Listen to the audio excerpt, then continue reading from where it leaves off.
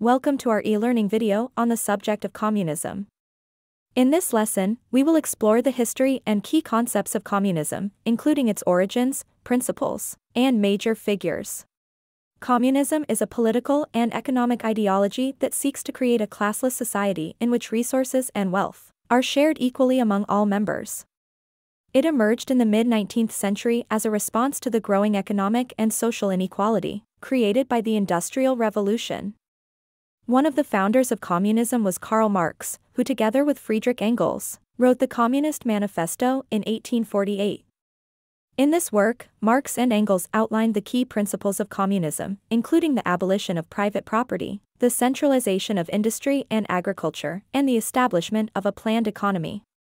Communism gained popularity in the early 20th century, particularly after the Russian Revolution in 1917, when the Bolsheviks under the leadership of Vladimir Lenin seized power and established the world's first communist state.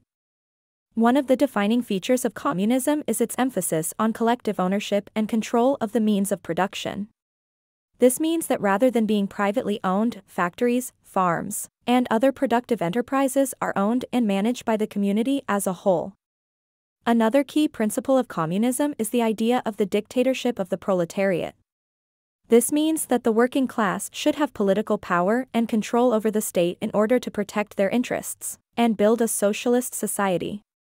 Communism also seeks to eliminate the social and economic inequalities that exist under capitalism.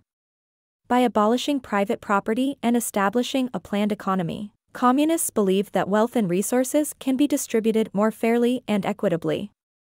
However, communism has been a controversial and often divisive ideology.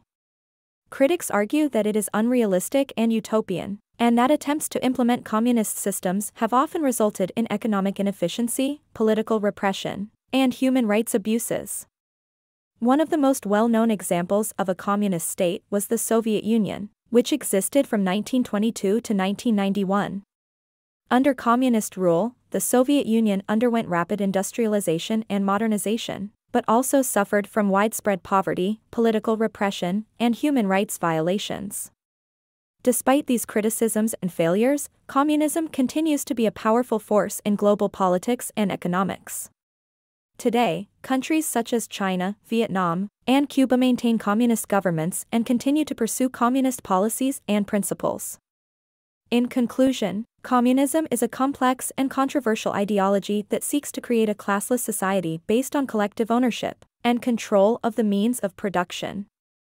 Although it has faced many challenges and criticisms throughout its history, it remains an important and influential force in global politics and economics. Thank you for watching our e-learning video on communism. If you enjoyed this lesson, please like this video and subscribe to our channel for more educational content.